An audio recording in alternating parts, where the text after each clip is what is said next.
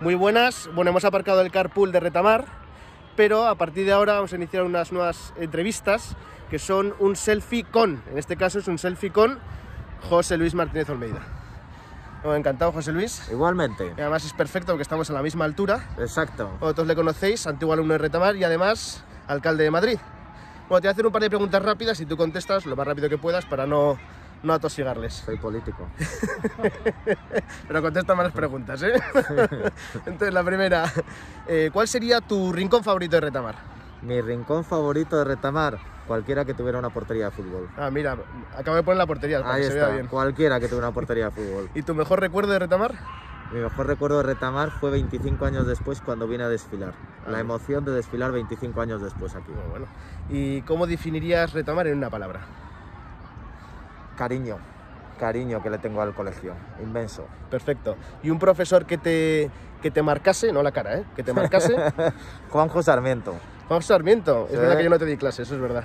No. Oye, ¿y qué, qué conocimientos eh, aprendiste de Retamar que aplicas en tu vida diaria? El partido a partido, ¿no? No, no, ese no, ese no, ese no, ese no no se es de retamar, ese, ese es ¿eh? del Atleti, ese es del Atleti. Eso creo que no. ¿Qué? Actuar como uno debe en cada momento. Ah, mira, perfecto. Y por terminar, es verdad que, que eres abogado del Estado, es verdad que te has dedicado a la política, pero si no hubieses eh, sido abogado del Estado o te hubieses dedicado a la política, ¿a qué te habrías dedicado? Futbolista. Siempre me gustó ser futbolista. Muy bueno. Futbolista. Ahora, Lo, vamos a, Futbolista. ahora lo vamos a ¿Qué comprobar. se le ¿eh? va a hacer? Siempre me gustó ser futbolista. Ahora lo, vamos, como son. ahora lo vamos a comprobar. Pero no Vale. todos los sueños se cumplen.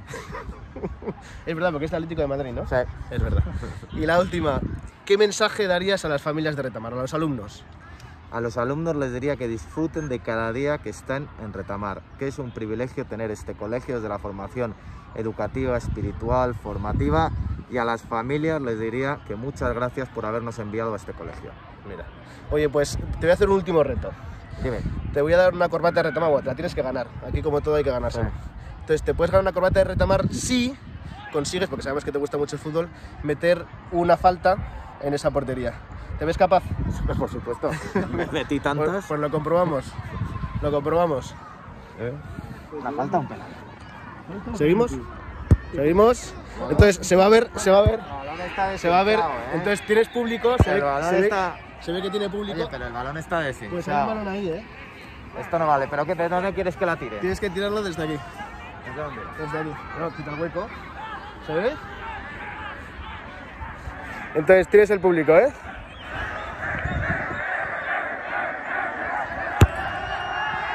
¡Vale!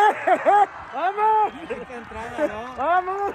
No está del todo mal tirada, ¿eh? Entonces, La corbata. no- la Champions no, La pero por lo corbata menos la corbata. ganada, ¿eh? La corbata te la llevas, Sí. ¿eh? Encantado. ¿eh? Muchas gracias. Bueno, Una entrevista de altura.